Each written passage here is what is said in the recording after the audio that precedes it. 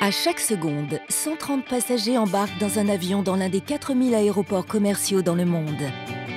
La barre des 4 milliards de voyageurs a été franchie en 2017 et la croissance s'accélère. Dans le cadre de son développement économique, l'Afrique se doit de participer à cette dynamique. Mais ces aéroports construits dans la seconde moitié du XXe siècle nécessitent des transformations radicales. Dans ce contexte, Razelbeck s'appuie sur son expertise pour se positionner sur un marché en plein développement, la modernisation des infrastructures de pistes et de leurs équipements. L'entreprise compte six références sur le continent africain et dans les Caraïbes au rythme d'un chantier par an. Maputo au Mozambique, Douala au Cameroun, Bamako et Gao au Mali, Mombasa au Kenya et Port-au-Prince à Haïti. Sa force L'expertise de ses équipements d'ingénieurs de terrain et de bureaux d'études pour planifier, optimiser et réaliser ces chantiers fortement contraints.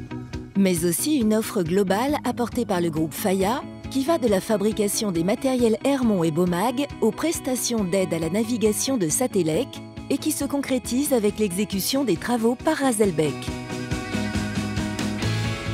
Prioritairement centré sur l'allongement et l'élargissement des pistes, le drainage pluvial et le réaménagement de la signalisation horizontale et lumineuse, les projets sont souvent aussi l'occasion d'ajouter des fonctionnalités aux aéroports pour en faire de véritables hubs régionaux.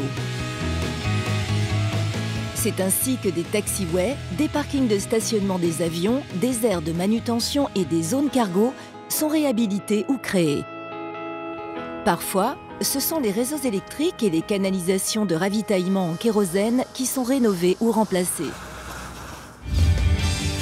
La réussite de ces opérations complexes repose sur la capacité de Razelbeck à prendre en compte les contraintes traditionnelles des clients auxquelles se greffent celles des nombreux acteurs de l'infrastructure aéroportuaire. Stopper le trafic aérien est en général exclu. C'est donc la nuit, entre 23h et 6h du matin, que la plupart des travaux sont effectués. À l'heure H, une logistique pointue se met en place.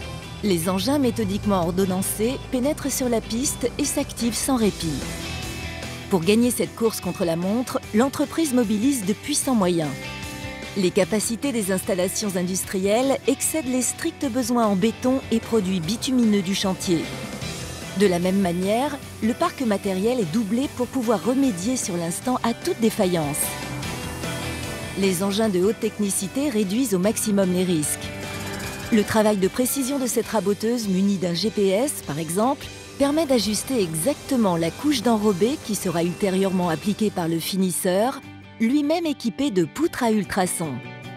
Un atout décisif pour se conformer aux normes drastiques de l'Organisation de l'aviation civile internationale. En ce domaine, les exigences atteignent des niveaux d'exception.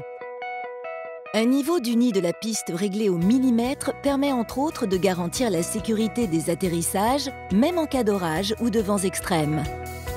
Les enrobés sont fabriqués avec des matériaux modernes pour assurer la durabilité de la piste, même pour les avions les plus imposants. Mais indépendamment des moyens matériels, Razelbeck sait que le succès dépend principalement des hommes de terrain. C'est pourquoi l'entreprise affecte à ses chantiers ses meilleurs spécialistes. Par leur savoir-faire, ils se montrent innovants et ingénieux.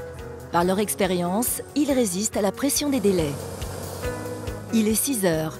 Dans le scintillement des signaux lumineux, le premier avion évolue sur une piste irréprochable, ignorant qu'elle fut toute la nuit le théâtre d'une intense activité. Cette efficacité porte une marque. Razelbeck.